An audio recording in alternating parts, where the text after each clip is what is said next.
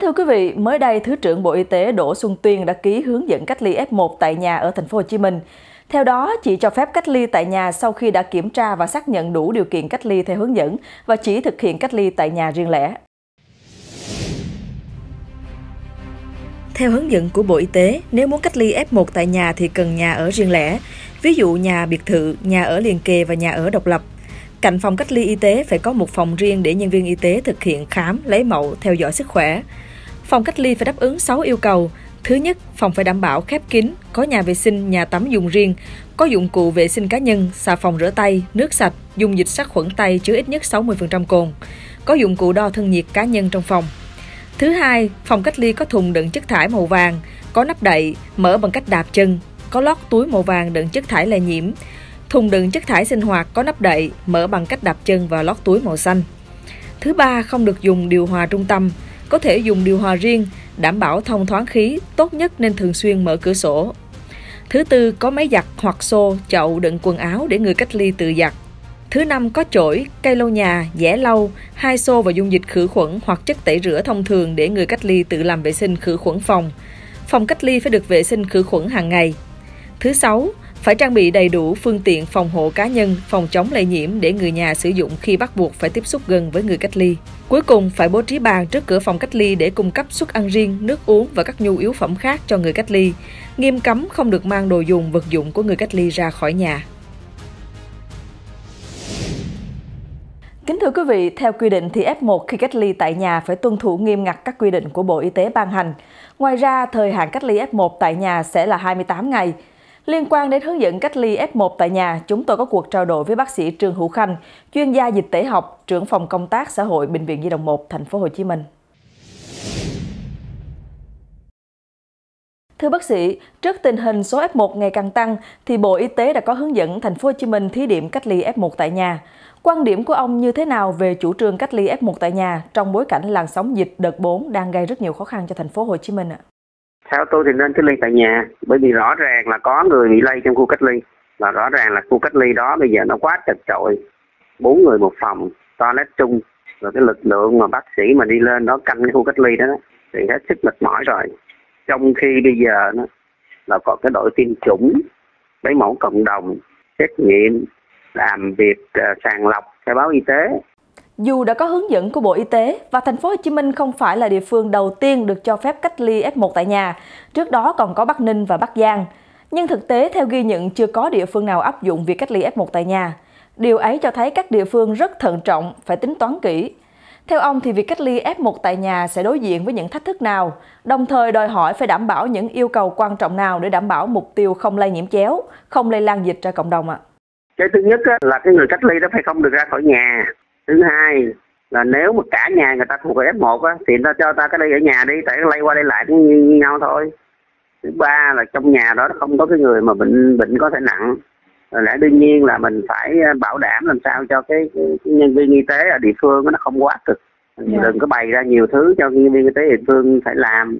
Mình đơn giản hóa công việc đó đi. Tại bình thường người ta cũng ở trong khu cách ly người ta đâu có làm gì đâu. Thì đó mình phải nghĩ ra mấy cái đó mình mới làm được theo hướng dẫn của Bộ Y tế thì cách ly F1 tại nhà lên đến 28 ngày. Ở góc độ dịch tế học, việc cách ly 28 ngày thay vì 14 ngày so với bình thường thì có hợp lý hay chưa? Và ông có khuyến nghị gì cho số ngày cần để cách ly F1 không ạ? Thật ra thì cái ngày á là do mình làm không đúng thì mình mới tăng ngày lên. Cái quan trọng là cái xét nghiệm đúng vào ngày thứ 14 là đủ rồi. Chứ còn bây giờ mình có thêm 21 ngày hay là mình thêm uh, cho đủ 28 ngày thì cái xét nghiệm và cái công tác bảo vệ cái người trong khu cách ly á là nó nó nó nó không có ý nghĩa gì đó cho nên cái ngày đó là chỉ là ngày 14 mới đúng thôi chứ còn những cái ngày khác là do mình không có bảo đảm được cái, cái sự lây lan trong khu cách ly cho tới hiện nay khoa học là chỉ là ngày thứ 14 thôi. Ông có góp ý gì thêm để chủ trương của Bộ Y tế là cách ly F1 tại nhà trở nên thiết thực và dễ áp dụng mà lại còn hiệu quả ở mức tốt nhất có thể không ạ? Không thì bây giờ mình phải chọn lựa ra chứ nhu cầu có. Mà cái hậu quả của mình khi mình đi tập trung là có. Vậy mới đem phải chọn lựa ra và mình tiến hành mình làm.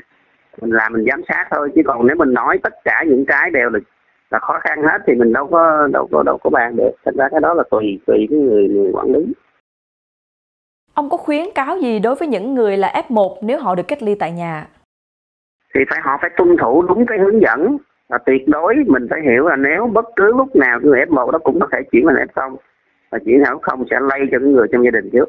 Thành ra phải tuân thủ cho tới khi người ta chứng minh mình không phải là F0. Thì họ phải tuân thủ thứ nhất á, là phải nghỉ ngơi đúng, uống nước đủ và đặc biệt là phải bảo vệ vệ sinh. Thứ hai là phải theo dõi sức khỏe của mình nếu mình thấy có bất cứ triệu chứng gì liên quan hô hấp hay là sốt á thì báo ngay cho cái cái cái cái, cái cơ quan y tế để người ta làm xét nghiệm cho mình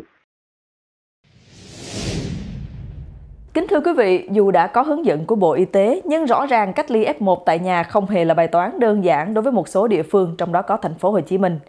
Trên thế giới, nhiều quốc gia cũng đã cho phép F1 cách ly tại nhà. Ví dụ tại Malaysia, những ca F1 được phép cách ly tại nhà trong 14 ngày, được xét nghiệm khi bắt đầu cách ly vào ngày thứ 13.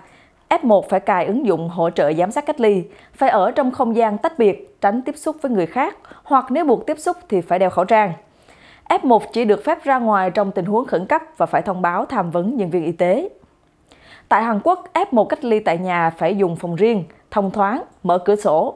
Nếu buộc phải dùng nhà vệ sinh chung, các vật dụng trong đó cần được khử khuẩn sau mỗi lần F1 sử dụng.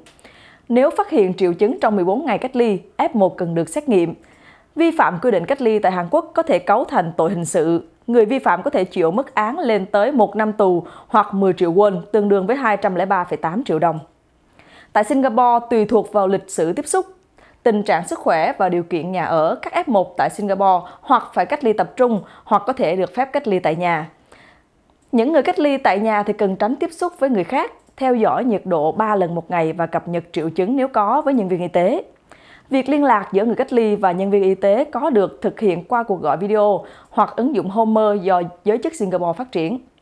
Chúng tôi hy vọng rằng những bài học từ các nước dưới sự phát triển của công nghệ, sự tuyên truyền từ chính quyền thành phố và ý thức của người dân thì việc cách ly F1 sẽ sớm có hướng ra để giảm tải cho công tác chống dịch của thành phố Hồ Chí Minh và những tỉnh thành khác.